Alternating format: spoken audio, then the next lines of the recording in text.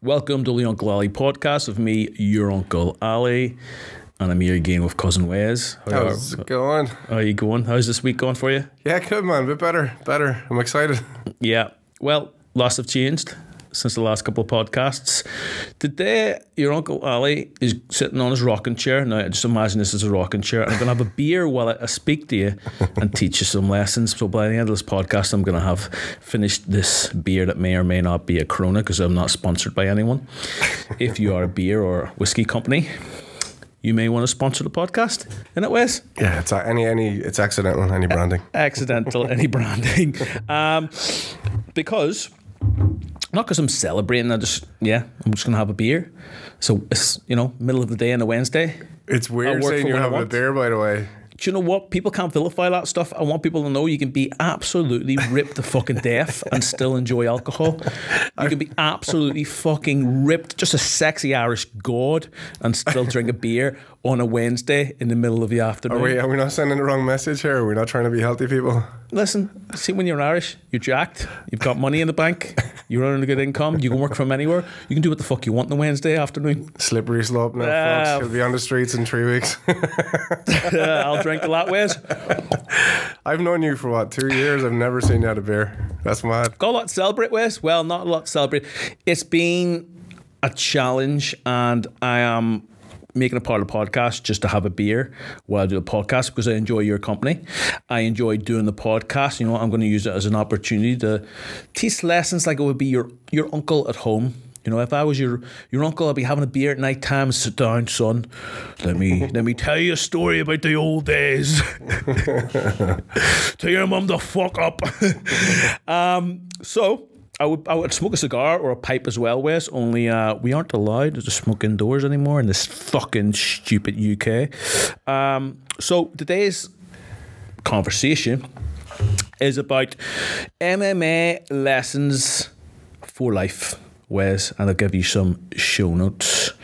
Um, and I think this is important because the principles I kind of teach and kind of relate to day to day life, they're always from MMA. It's not like I've did a fucking mentorship of a mindset coach. It's not like I've, you know, um, I've studied psychology and stuff like that, but I'm, I'm not a PhD major. I'm not a fucking qualified psychiatrist, therapist, anything like that. Like the life lessons I teach you are things I've learned the hard way from martial arts and then I applied it to life. And just for reference for people like, who the fuck are you to be teaching me a life lesson? I lived in the back of a gym four years ago. Um, like I had fuck all, and now I own a business that probably easily clears six figures a year. Um, and it's not me bragging; it's just that I came from nothing. Like when I was growing up, my mum, we couldn't afford much, and I used to get shoes. And when I get a pair of shoes, I would whirl them and just whirl them and whirl them. And even if they didn't fit, I'd still stick them on. And my toes are bent now because I used to stick on shoes too small for me and just suffer through it because I was scared to ask mum for new shoes because I knew she couldn't afford them. And I'd be scared of her getting upset or crying or, you know, feeling inadequate for not being able to afford me things. So I would never ask. So I come from a background of not having fuck all. Um, and it's hopefully the lessons I can teach and teach you through this will help people navigate life a little bit better um, and understand that, listen, you can kind of feel at something and then be successful afterwards because I wasn't very successful at MMA. Uh, I was all right, became a champion, BJJ black belt, fought for a long time, but I never achieved half of what I should have for the amount that I dedicated. And I think that's an important lesson to learn. Would you agree, Wes?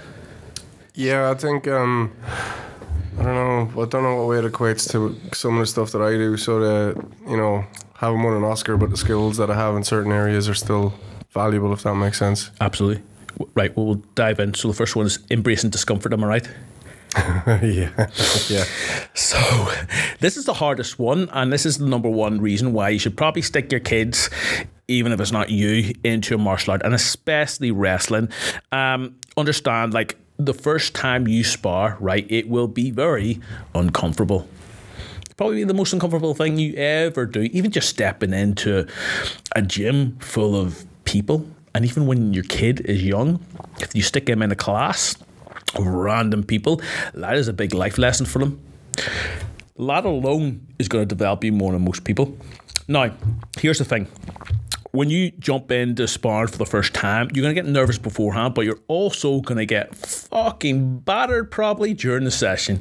It's gonna be uncomfortable. The first time you get hit in the face, it's either fight or flight, and it doesn't matter. I'm not gonna criticize you if you fucking you're a shitbag and don't like getting hit in the face. I didn't mind it, but it's still fucking painful, and that teaches you lessons when you get hit in the face, you realize, oh, I'm not just a fragile little snowflake You're running through life.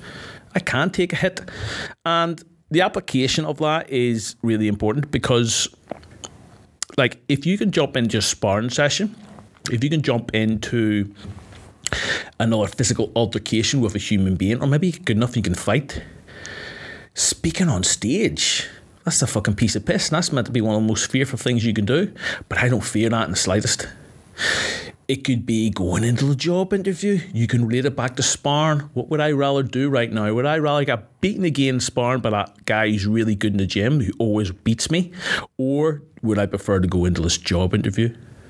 So now you can use that as a little bit of an anchor and comparatively compare what you're doing in your life and kind of, okay, well, this seems really uncomfortable, but compared to that sparring session last night, it's not that bad.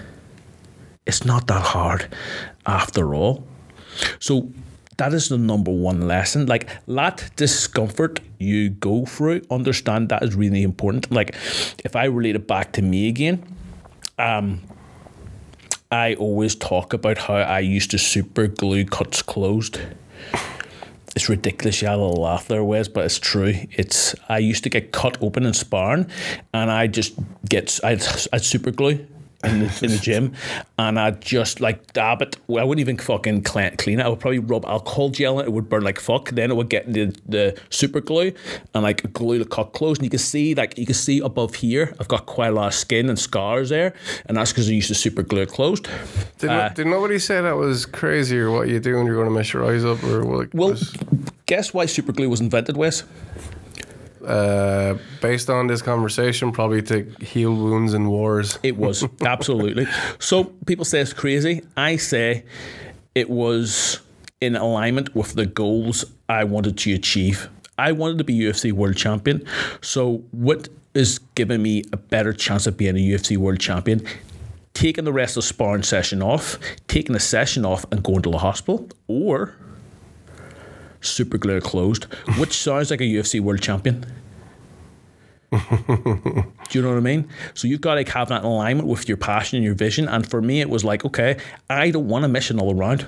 I'm going to glue that up, put a head guard on just to protect the cut because I would never normally wear a head guard. And I'm going to crack on with the training session. And that's what I used to do.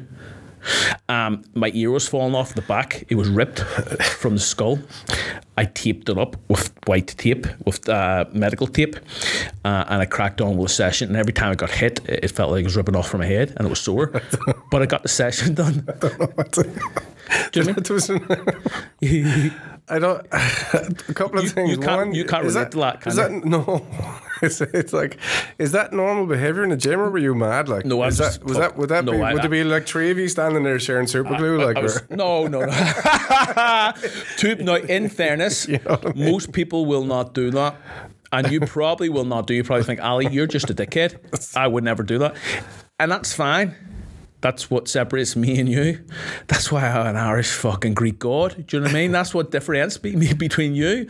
No, but it's see, hard. What's we're in a way you kind of.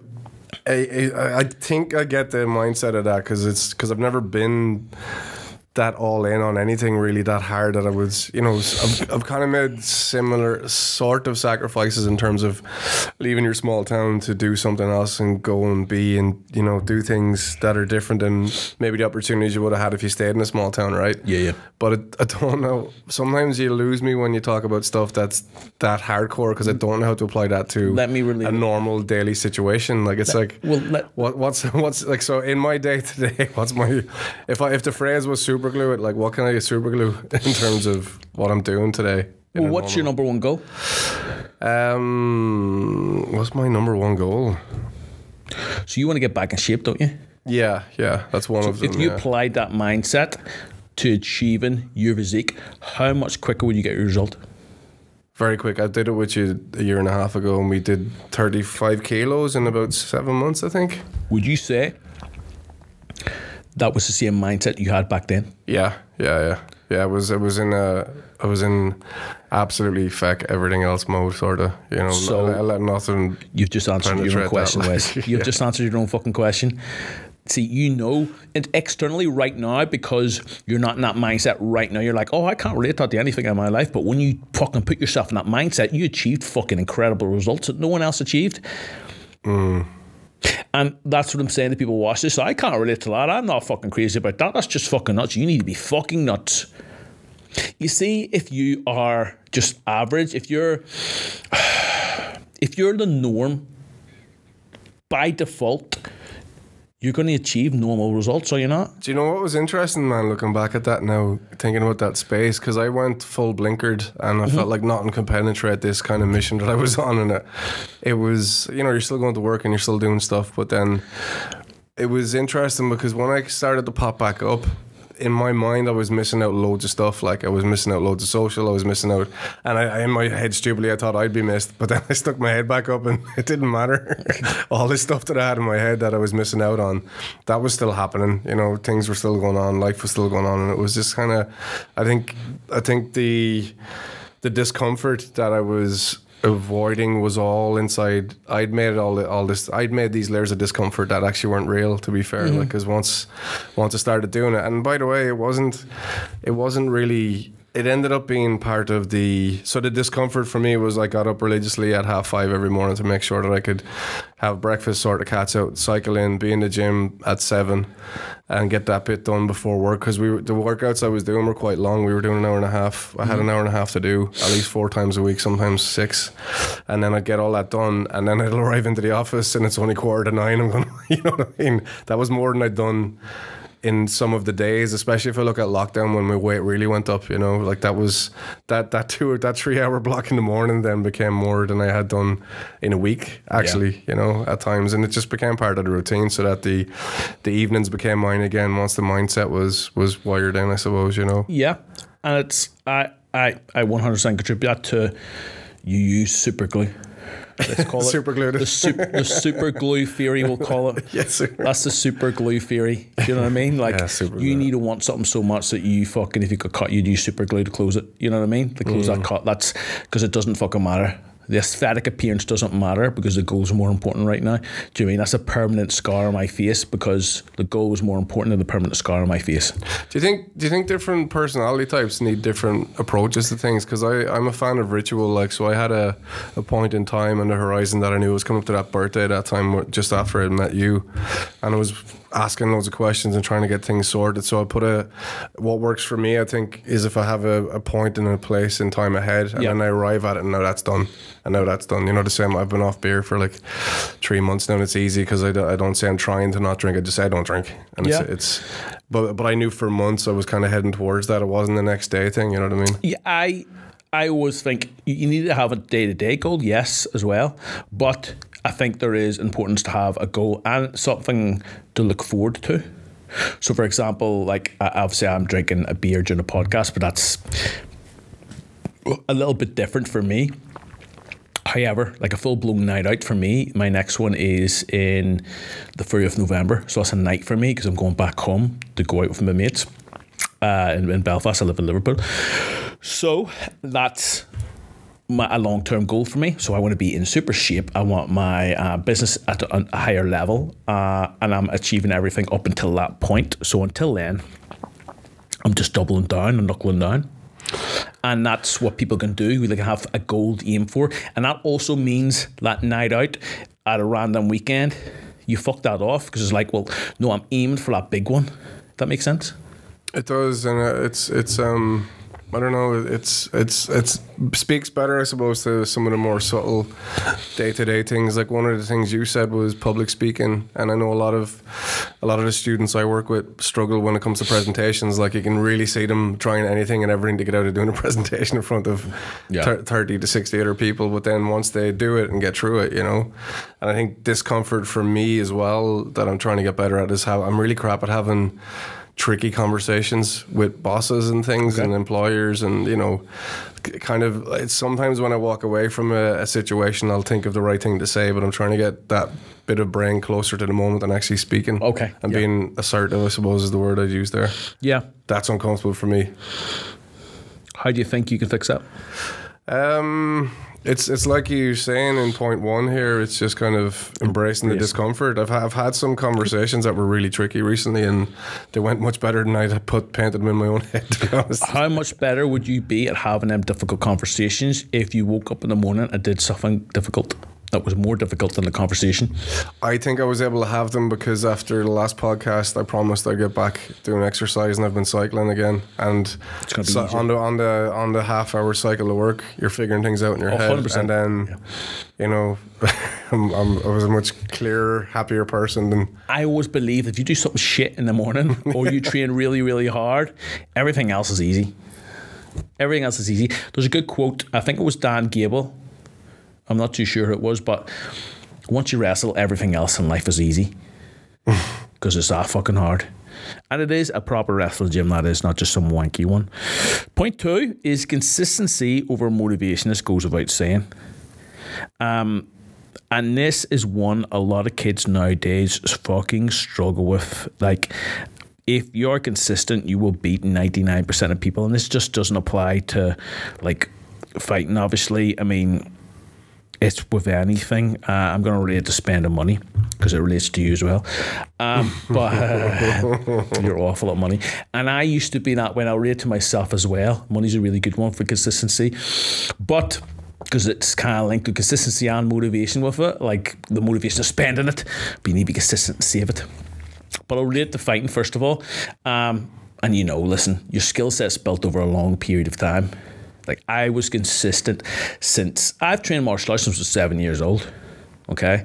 I did not get my black belt in BJJ till I was like 30, 30 41, 41 maybe. I can't even remember. Um, because when I got to the stage, I got my black belt. I was like, oh yeah, I knew it was a black belt. I'd been tapping people out since it was like fucking. I'd been tapping black belts out since it was like early 20s. Do you know what I mean? Like, I'd always been at that standard. It's just the skill set and the little fine details weren't there. The teaching element wasn't there as well. See, if you have a good BJJ coach, they rank you based on your ability to coach and teach. You can't just be a black belt skill wise, you have to be a black belt in communication and teaching. That's a really good black belt. If they can teach effectively, that's fucking perfect. And as I dive into that a little bit more, let's give you an example. So, when you start BJJ, you're gonna get absolute. Excuse me. beer, beer, beer burps. If you're watching on YouTube, you can see me burping. If you're on Spotify, I apologize. You just just heard me burp. Uh, just sounds absolutely. You should smell it as well. uh. I'm nearly finished the fucking beer, halfway through it already. Um, I'm a fast drinker, Wes. Irish, and I had heart. Never drink, but you know, genetic, innit? Um, so yeah, when you start BJJ, you're going to be absolutely fucking shit. I'm going to be honest. You're going to get tapped everywhere. Um, and even then, people are quite strong, they're a bit of a juice head, they're going to get smashed to pieces and gas out everywhere. And it's going to take a long period of time of sucking, not knowing what you're doing, in order to pick it up. And there's no way around that. The only way around that is consistency. In fact, I had uh, a friend who messaged me, he started BJJ, and he said, Ali, how can I be a blue belt in the first year? How can I increase the chances of me getting it? How can I get a really good? What's what's the fast track? Is it instructions? Is it BJJ content? Is it is this and that? And I said, there's no other replacement for time in a match, and he didn't want to hear it. And I was just honest with him. And you listen, you can buy all the courses you want, you can study all the stuff you want. It's fine, but mm, you won't be able to apply it because what will happen is you'll become a librarian of the mind. You'll become a technique collector. Now, when someone rolls with me, I use the same shit over and over again. Like I use, I have a couple of games. I have an A game and a B game, and depending on what I work work on, I, I- I'll, I'll use that game. And I've got all other aspects, but like the main ones, I'll use when I'll roll because I want to perfect it, and nothing will change. And people say like, "Fuck me, you used that pass three times against me, five times against me. Every time you did it, you, you passed. Like I couldn't stop it. Why? It's like because I got really, really good at it. But I only got really good at it through consistency." it wasn't from being motivated. It wasn't waking up one day and go, yeah, I'm gonna fucking smash fucking, you know, two hour session at BJJ and I'm gonna go home and study BJJ and I'm gonna burn out the next day because I did too much. That's that's not how you get results.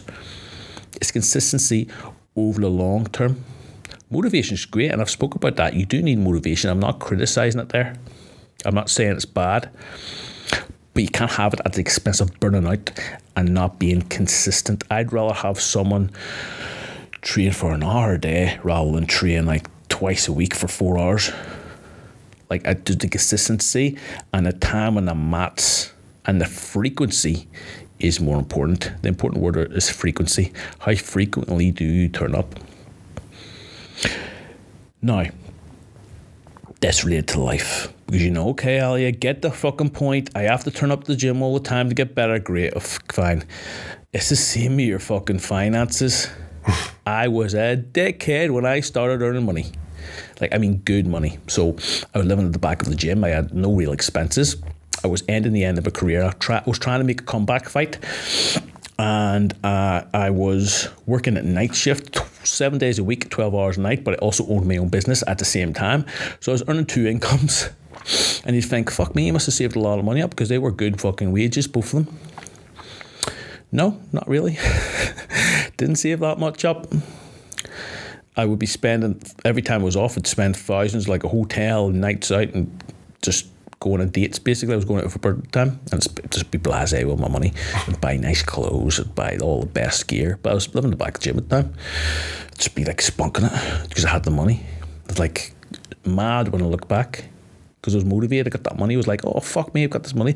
Whereas what I should have done, and this is a lesson from your Uncle Ali, is being consistent on that money, saving up and calming the fuck down. Maybe just chill. Maybe just put that money in a little pot. Maybe just look to the future a little bit. Whereas I know you're a fucking dickhead with money. Go on, tell us. In a weird way, you can call me consistent, though. You consistently shit with it, yeah. Because there's, I think, if you're trying to look for proof of whether a theory on consistency leading to something is real, um, there's a lot of evidence that the more junk and crap food I consistently eat makes me bigger and more lethargic. So, if you really look at all the negatives in your life, it's because you're consistently doing the same wrong thing. So the evidence is there and it's just trying to switch over to the positives. You know Yeah, what I mean? yeah. Because I'll I'll do really well with money for a while, and then I'll just get that. The f- my favorite, my best friend in my brain is that little dude that just says, "Fuck it, get the festival ticket. You've only two hundred quid left. It's the third week of the month. You're not getting paid for eleven days, but." Bloodstock tickets are out tomorrow. Spend your last 250 quid. You'll figure out food somehow, you know? it's, it's, I haven't grown out of it, man. It's crazy. Like, I know. You're, but I know. That's, yeah, we spoke about it. And like, you got a good income. That's, the it's fucking worst part about it. hard. It's embarrassing how bad you are with money. I, if, if, if, if the viewers knew your income, they'd be like, how the fuck does he spend that? But how good am I at life, though, man? Oh, yeah. Yeah. Well, swings and roundabouts, well, swings and roundabouts. No, but it's it's fair enough because there's you know I don't know. It's one of those things that I'll go through periods of doing really well, and then it gets quiet, and then I'll just get excited and go, "What about that, that, that, and that, and that?" That, and that. that that is that is like another point. Like it's the fact you save up all this money, you go, ah, fucking, I've got all this money, let me just spend it and shit. Listen, I've done the same thing lately. I've, uh, but I've spent money lately on investments. I'm not against that. I've been investing in a couple of things business wise to get a couple of businesses off the ground, a couple of different ones. Um, and I see that, that's the positive.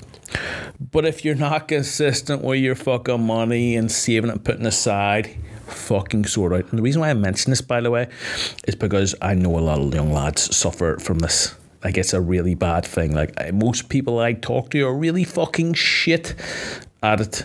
And even the ones that are good at it could be better. Okay. Now, consistency doesn't just apply to that. Listen, going to the gym, turn up to a job and putting max effort in, studying for that new skill you want to get really good at.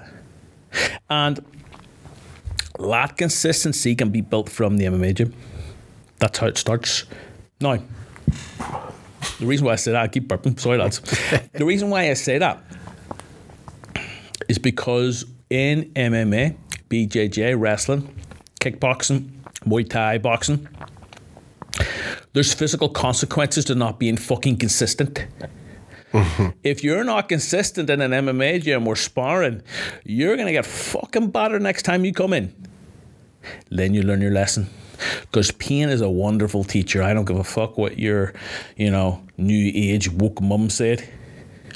Pain is a fucking wonderful teach, uh, teacher. Like, if you're if you're turning up the gym consistently and you smash the hell out of that person that doesn't turn up much, there's no better feeling. It's like, oh yeah, you're going to turn up once a week and you think you're going to beat me in a spar?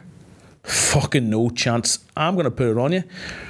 Back in the day, if someone came up to spar and they only turned up once in a while, oh, they were a target. Oh, you're not in every day. Oh, you're gonna get it. And everyone fought that way. We all spoke about it, but like at the same time, it was like an unwritten rule. Like you're not consistent, and you turn up to spawn on a Tuesday morning, the Terror Tuesdays. Yeah, you're you're getting it put on you, and that teaches you to be consistent. There's a there's a problem though with what we're talking about here on. because um, there's a great Mike Tyson quote about uh, everyone has a plan until they get punched in the head. Yeah. So you're talking about a very physical thing that has a very physical response. Yeah. And it was a time when money became digital. I don't see it anymore. It's a, it's this imagined, weird, not real thing. And I, I noticed uh, one time I got paid in cash, and I had that cash around for a lot longer than I would have if it was just a digital hundred quid. Do you want to know how you that fix that beep, beep? Go on. Alex Hormozi has this tip. You wake up every morning, you check your bank account. Oh god. Okay. It's fucking horrible that if you're in a bad position. You don't want to do it. No, you- a good position, you will. But if you wake up every morning and look at your bank account, that solves that issue, doesn't it? But is that is uh, I don't know. Well, it, I don't know. Yeah. It's like Have you ever done it?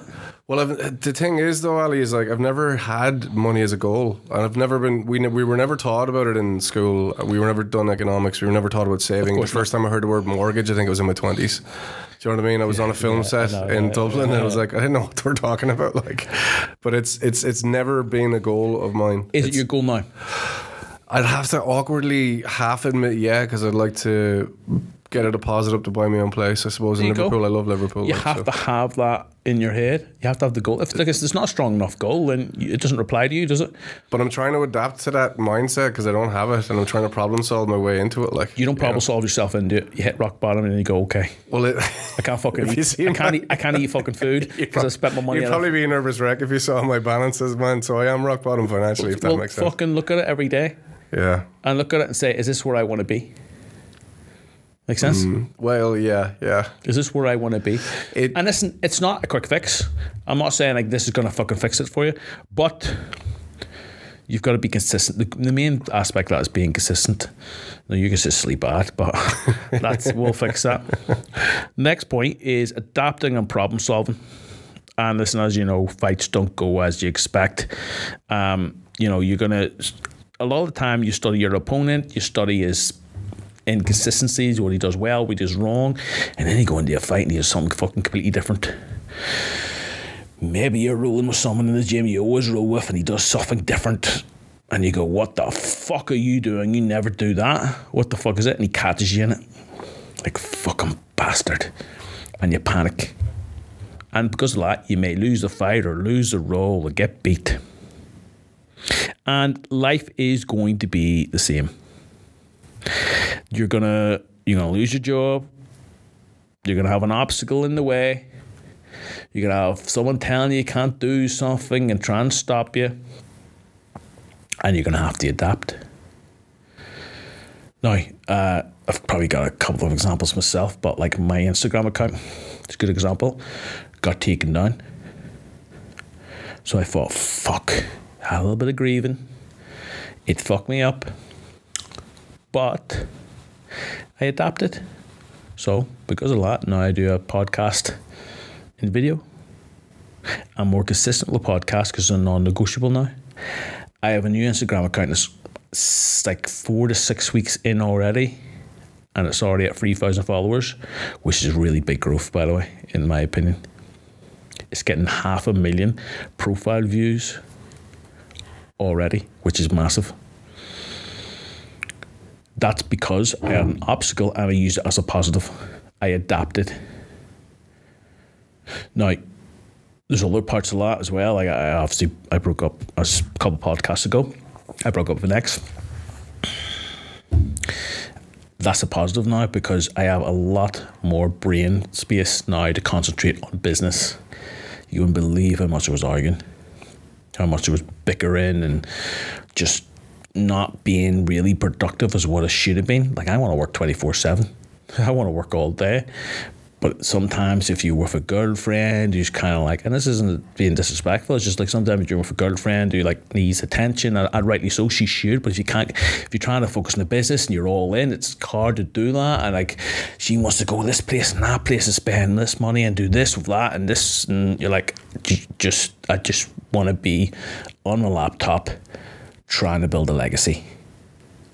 I see that as really bad, though, man. We're not put here to just work for this this isn't to- for everyone, Wes. No, that's not for everyone. This is me. I'm just talking about me. Like, it's not me teaching people like this is what you should do. This is me adapting, and so me breaking up with her was an adaptation to becoming who I need to become in a personal perspective. And it's the same with like, you know, yeah. There's a couple of other issues. Like obviously, uh, uh, you know, stop speaking to another girl I really liked, and um, But I think that's more of a, a comment on being with the right type of person that would kind of propel you forward rather than anchor you in a certain No, I, I don't. I. I don't want to be with anyone. Wes. Like it's just a personal perspective. It's not. This isn't. Sorry, listen, girls. no, Sorry, girls. Listen, the door's closed. Listen, Anyone listening, if you talk. listen. You, you, like, and get fucked. Do you know what I mean? Everyone's game Delete for this. everyone, ah, I'm on the beer. Wes. the beer, we'll blame the beer. A, it's a beer speaking. You know. Blame the beer. Well, I probably wouldn't be able to fuck with beer. Do you know what I mean? It doesn't go hard. There's a great Dead It's Kennedy fucking, song it's about fucking whiskey penis. Um, so you adapt and problem solve. problem, and problem solve is my point. And so sometimes you see these obstacles that are in the way, and it actually becomes a really fucking good thing, but you just can't see it initially. Do you have an example of that, Wes? From adapting When have you when have you ever adapted and problem solved that's become a positive? Oh, it's just all the time. Anywhere, anything good I've done, actually, you know, it's There you it's go. constant. Well, I finished the PhD bloody doctorate, didn't I? Yeah. and trying to fit that in around life and everything else that was going on. It required loads of that. And it's like you said, consistency in terms of how you find space to do those things, you know. No, I had to binge, to be fair, like a, a couple of points. It was, I had to give entire August to getting that thesis written up. Um, and just go blinkers. Like I said, I nearly went insane editing it this year. So you used to super glue? Close, I did. I closed the windows and doors, and I didn't even know what time of the day it was for about a good a good period there when I just had to get this edit done. I wasn't leaving the room until the edit I was done. love it. See, you criticize me for the super glue, but sometimes you did the same thing, didn't you? Got the glue out. Yeah. Sometimes you just gotta fucking stick some super glue on it and crack on. And I was nervous because I thought a lot of stuff would go wrong in work if I wasn't doing all that stuff. And guess what? I, I pulled the blinds up, opened the door, and everyone was still alive. you know. it's amazing. Do you know what I mean? People go, oh my god, that's crazy. You, you fucking that's just really fucking uh, dangerous putting super glue on your cotton sparring. And it was nerve wracking, man. It's like if I didn't embrace that discomfort, like you said in point one, I would have kept ticking along and not getting it done. And it was, I think, one of the hardest parts of that discomfort is that the kind of job that I do is mostly looking after other people. Yeah. And then that to me felt like a selfish week where I was going to close everything off and just do something that I needed to do for me. And I'm not, I wasn't, I'm not always good at that, you know. And that that's when I lost all that weight as well. And I, like I was just, I was at a point where I was like, come on, man, you know, sort yourself out for you. And that's got to be the motivation. I think it's got to be for yourself because I find if the motivation goes external, then those things can go away and disappear, and those people can let you down. So When you go on a plane, Wes, right, and they tell you about the oxygen masks and when the you know the place the cr- plane's crash crashing, who puts on their mask first? You or the person beside you? Who do you help? Like if you have a child beside you, what do you do first? you got to stick your own on before you help the child. Yeah, why? Well, because you're no good to them if you're if you're No good if you're fucking dead. Yeah, if you're dead, you're no use to anyone. Do you remember the old Arnie movie? Like uh, it was the it was the first. Remember he was going on the side of Mars and he's going. "Ah." Yeah. You're not helping anybody in Yeah, that helping stead, anyone like that. Yeah, I remember what that was. what Total was that? Recall. Total, Total Recall, brilliant movie. The remake was shit. I actually like the remake, but I prefer the original. You use use point four to workshop with me then, right? So you're saying resilience after failure. Now I'm I stuck because we had a the picture that I had of the before and after working with you. I have a nice big, you know, that dad bod phrase that I hate. Yep. Um, middle age fucking drift hanging out over the belt, and then within seven or eight months we have that photograph that's on the right hand side where we're very close to. You can see six pack coming in, right? Yep.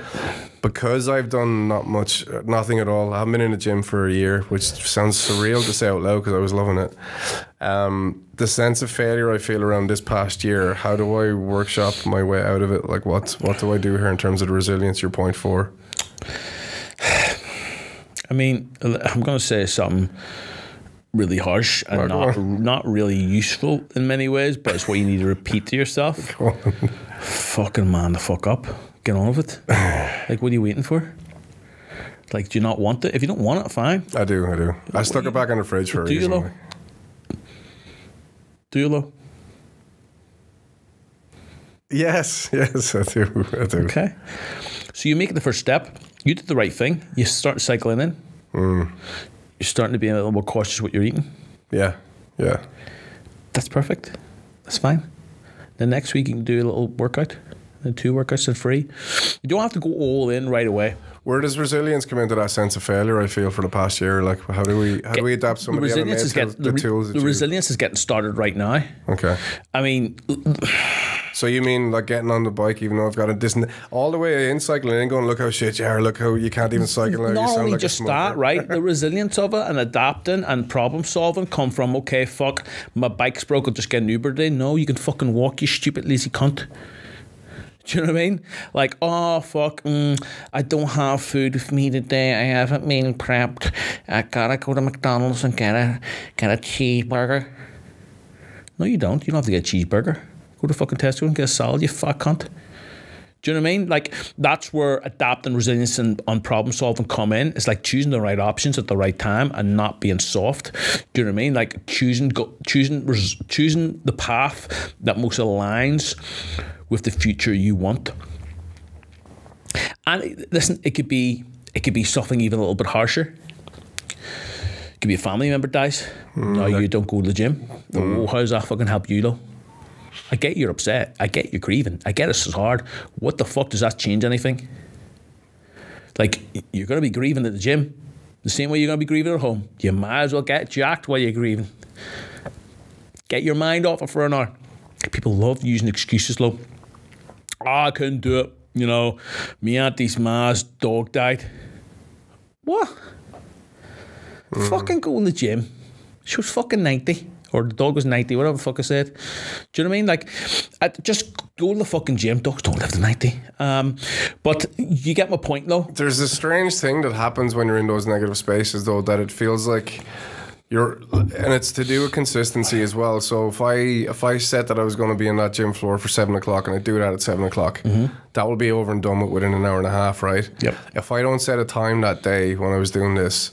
That whole hour gets pushed around the clock for 12 hours. To, it feels like a full day's worth of a task, you know what I mean?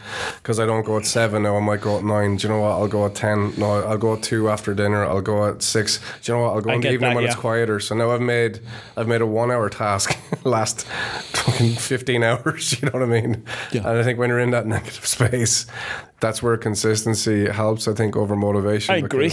I agree. I could change my motivation, and I'm very creative brain. I can give you 11 different reasons why I should put this off for two more hours. Absolutely, yeah. No, it's, it's a fucking really good point that Wes. Um, that again, getting early workouts is key with that. But like you said, consistency, same time every day. It's non negotiable. It's in your calendar, block booked before the week starts. Before on the Sunday, you've got every workout already planned. You've got every rest day planned. You've got your diet sorted and how you're going to prep it. It's all ahead of time. This is the same for athletes. This what are you going to train this week? What are you going to do?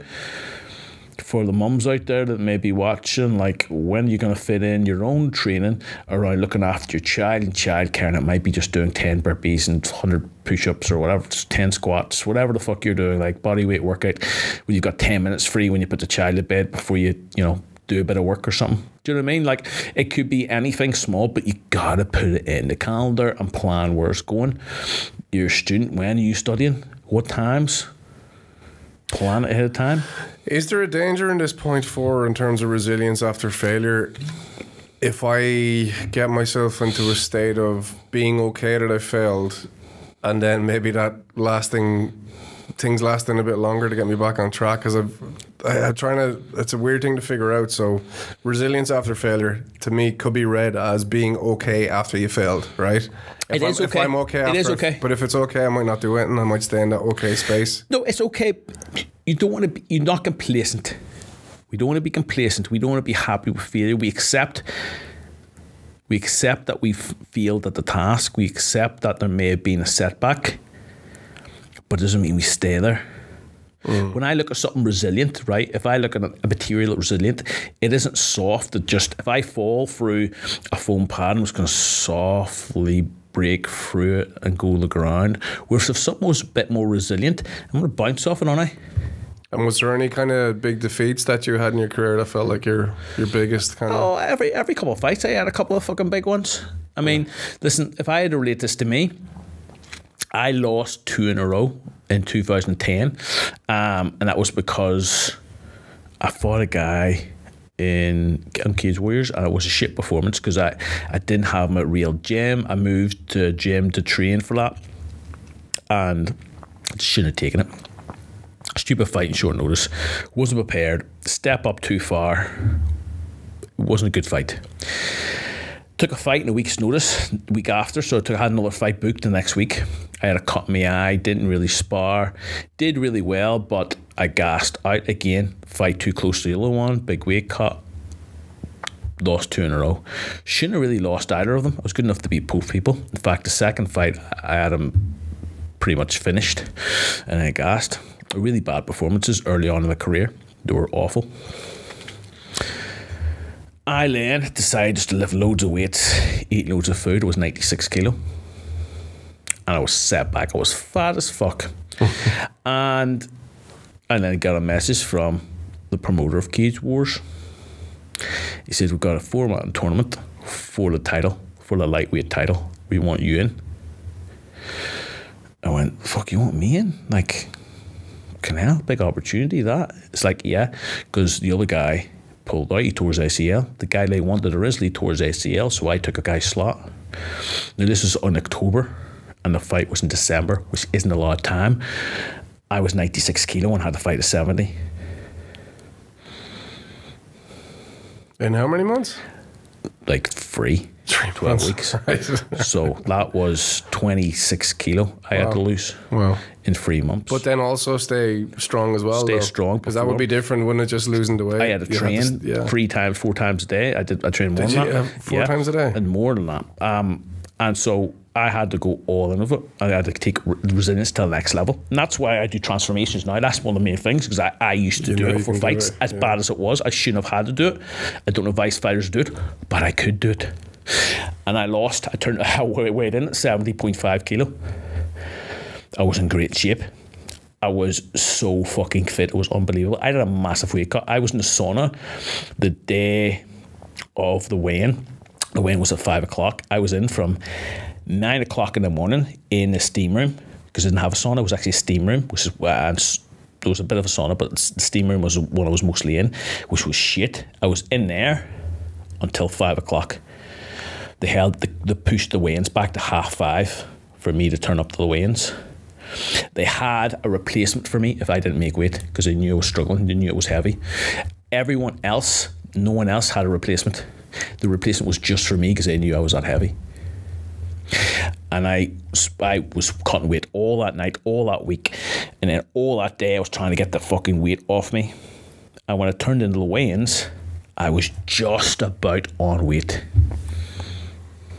and I made weight. And it turned up the next day. It was the best performances I've had in my life. Like it was, I I, I, couldn't gas. I could not fucking gas. I trained so hard for that fight. Like I've never trained like that for my life ever. Like I, I I'm not going to go into details about what it did, but I, I went fucking hard, like ridiculous. I overtrained. Like I'll, I'll openly admit it was too much, but I recovered in time. And when I turned up on the fight night, because of that resilience, because of the setback I had previously, I was like, if I turn up this, I cannot lose again. I have to have this comeback. I have to come back. If I ever want to achieve my goals of being a world champion, I need to win this title. Because whilst it was it was a, like a really good title, it wasn't a UFC world title. Like if I can't win this title, how am I going to win a UFC world title?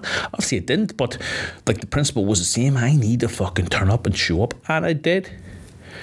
First guy I beat with decision. I wasn't meant to beat the first guy. He was really good. Guy called Tommy McGuire, really high level fighter.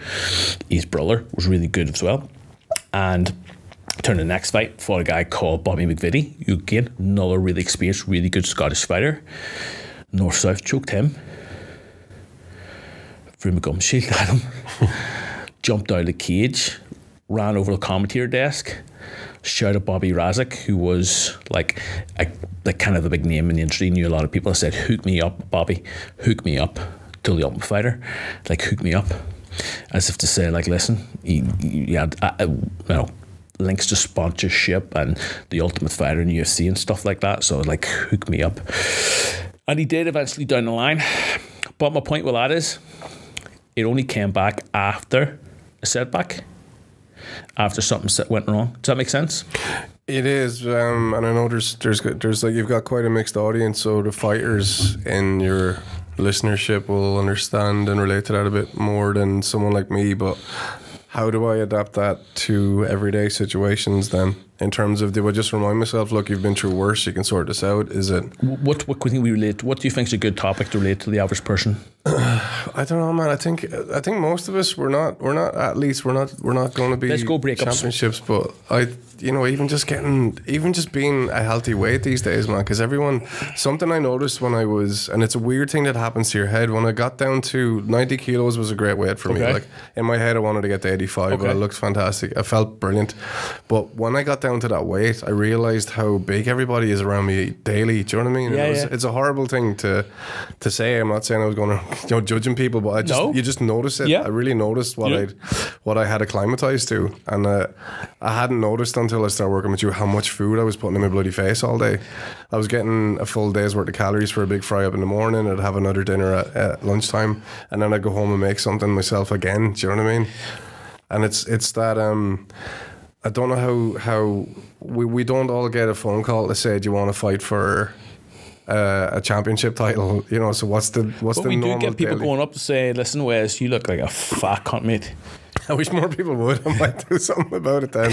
People are very kind. Oh, you carry it well. They are. They, they, they're things. all nicey nice. To be honest, you, you- this day and age makes it easier for people to say overweight because people aren't honest. Bring back You- bullying, you- Wes. you're Bring trying to- back you- bullying. Are you, bo- you body shaming me, Alex?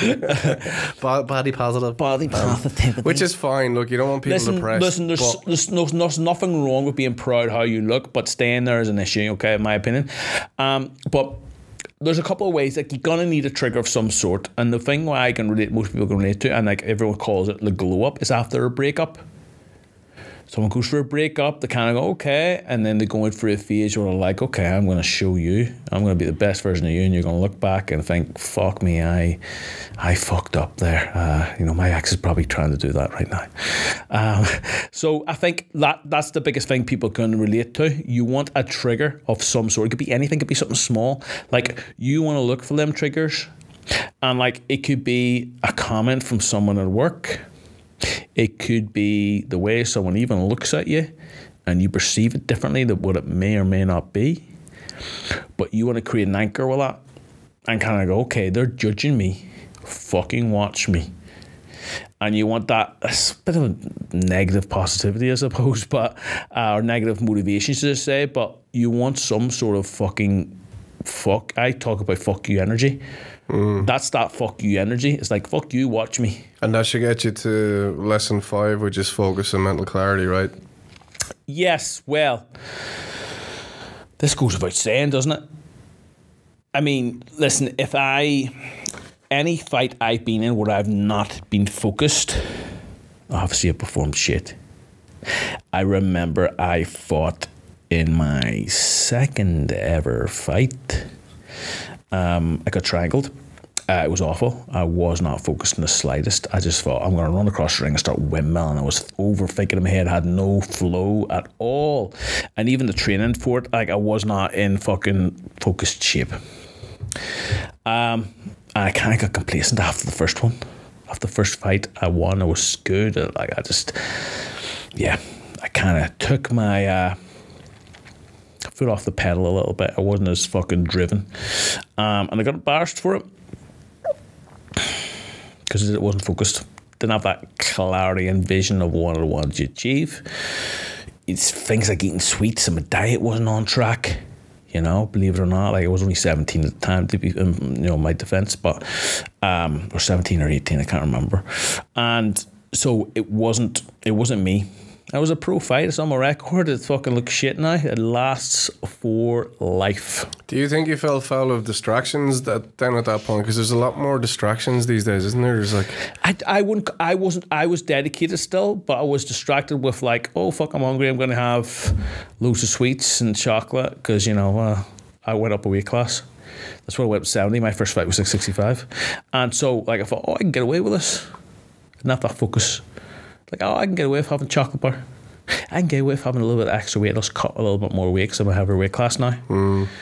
Oh, I can get away with like fucking maybe not like pushing my limits too much and doing like them free sessions. Maybe I'll get away with two. I'll get away with two. Most people train two sessions. So, you know, I can get away with training two. Not knowing that if I want to be the best, I need to do more.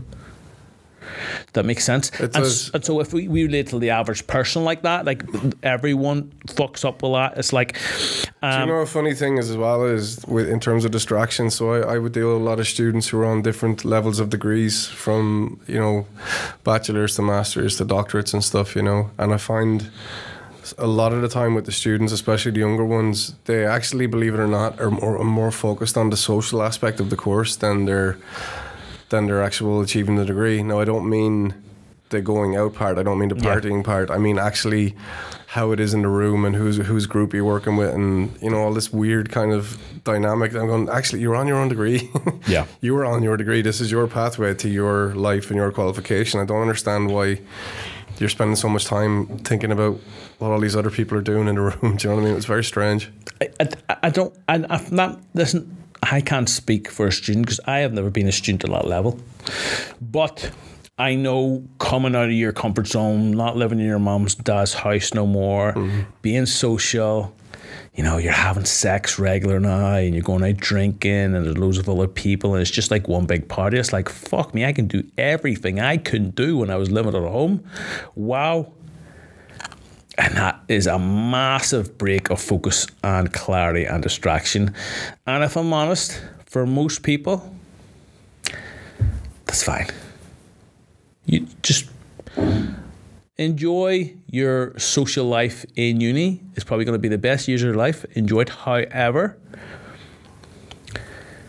when it's time to focus and turn up, you need to focus and turn up. There's nothing wrong with going out and drinking when you're uni and you're a kid and you don't have big goals. If you don't want to be a world champion, you don't want to be a fucking multimillionaire in your 20s, like fucking yeah, crack on, do what you're doing. However, there's still no excuse to not turn up to a class. There's no excuse not to turn your fucking phone off and stop it buzzing. There's no fucking excuse not to set a timer to do like, you know, proper studying work in the right amount of break between so you're focused. There's no excuse not to have your coffee and be focused and have your breakfast and make sure you're fucking 100% all in and focused. There's no excuse not doing your coursework because that isn't just a lack of focus and clarity. That's a lack of personal standards. And if I'm looking at that type of person, would I want to hire that person? No, not for my business. Would I want to associate with that person, hang around with that person? Nah, you're not. You're not my type of person. If I had, a, if I was going out with a girl and she acted like that, would I want to go out with her? Not in a fucking million years. I don't think I don't know if any man who has high standards for himself, who does well, that would want to go out with someone who lacks focus, clarity, and that fucking absolute bit of determination, being able to turn it on when they need to. I'm not saying you need to be a fucking monk. Go out and drink, and I'm fucking drinking a beer on a fucking on a Wednesday afternoon for fuck's sake. But I've worked all day. I worked for fucking 12 hours yesterday, 16 hours in fact yesterday, constant. Like I'm, when I'm focused, I'm focused. I'm doing a podcast now, having a little beer. This is my socializing, but I'm doing it while I'm fucking drinking. I'm doing a podcast while I'm drinking. I'm killing two birds with one stone. So I'm also I'm focused. I'm clarity, but like, listen, I'm not saying don't have a social life, but I'm saying when it's time to fucking turn up, put a game face on and get it done. Does that makes sense. It's yeah, it does. But again, I'm always trying to take it back to an everyday. I don't know what kind of people are listening, but you know, office office politics isn't isn't as extreme or as aggressive as some of the situations you were being in. So Yep. if we're if the if the in your in some of in some aspects of your world, the aggression and the intensity is very obvious. Yep. But in mine, it's very subtle. And so I think one of the points you wanted to talk about to wrap up was about balancing aggression and calm. But in your world, aggression is very easy to spot. In mine, it's Yeah. not.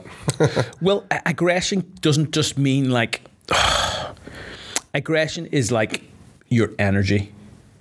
That makes sense. Like, um, so if we talk about it, like, there's some things that need calmness, and there's some things that need more aggression. It's like that balance between it because too much aggression leads to mistakes. It leaves you vulnerable. It leads you to attack. So if I, for example, if I'm fighting someone who is a counter fighter and he backs up the whole time, backs up the whole time, if I am too aggressive, I'm going to get caught 'cause I play into his game because that's what he wants. If he's backing up the whole time, he's setting me up. So I need to be an aggressive counter striker in that scenario. So I need to bait him. So if someone's backing up the whole up, I can't just run towards them, start milling them because you'll catch me. What I need to do in that situation is be aggressive up to the point where I'm in target range, and then I need to beat him. I need to fake and get him to over commit and throw, and then counter. Now that's a fighting perspective. But if we're relating to like like for example, if you're speaking to a manager and they're too aggressive, um, your position of that should not be fighting aggression against aggression. So if, if like say for example, I am the counter fighter, I'm backing up the whole time and he's aggressive, that's the right thing to do. Whereas if he's aggressive and I'm aggressive, we just start being aggressive with each other. It just turns into a fucking shit show. It's just a swinging match, and it's just luck. And the same if, if I have a manager who's dead aggressive to me and a dead shouting. How do you think me being aggressive is going to help? It's not. It's not going to be useful. I need to be calm, and if I'm calm, it may calm him down and give clarity. And if not, it also gives the space and it allows the situation to calm down and let both people see both viewpoints and that's just interpersonal communication skills. Like that's just you should know that anyway. If you listen to the podcast, if you don't, now you do. Aggression, aggression doesn't solve anything. At the same time, however, you got a manager who pushes you over all the time, but he's maybe passive aggressive. Maybe he's saying, "Oh, fucking, you fucking bit shit at that, aren't you? You bit shit," and just puts you down constantly. Doesn't give you constructive feedback. He's not nice about it. He's just dead calm and you're like, oh yeah, sorry, sir. Oh, I'll fix it. And you're just placid. That's not going to fix anything either. Sometimes you can have a bit of fucking backbone and you say, listen, I don't appreciate how you're speaking to me. And I'm not saying aggressive as an angry. Don't get aggression and angry mixed up. Aggression is just a little bit of intensity, a little bit of fire in your, your asshole. Do you know what I mean? Like, it's like saying, listen, I don't like how you're fucking speaking to me. Do not speak to me like that again. And uh, most people in that situation are scared of having that little bit of backbone. A lot of people are. Some people aren't. Who listen to the podcast are like, no, that is not me. I will say, and like, good for you. In that case, you need a bit more calmness, probably. Do you know I mean? You need to be able to like, balance it. But if you're like, if you like, feel like you're a little bit of a pushover and let people walk over you, and most fighters don't have this issue, but you need that little bit of aggression, that bit of snap. Like, I don't appreciate how you fucking speak to me. And it's that yin and yang. It's the same in fighting, by the way. Like when you're rolling, there's a time to beat people and be calm and let people come on to you and catch them. Because you can't always aggressively force a submission. I can't just go into a fight and bulldoze people and like submit everyone with a north south choke. Okay, I, my favorite move is north south choke, and I am well, known for it because I won like four or five fights in a row with it. And anyone I've trained with, I've north south choked. pretty much.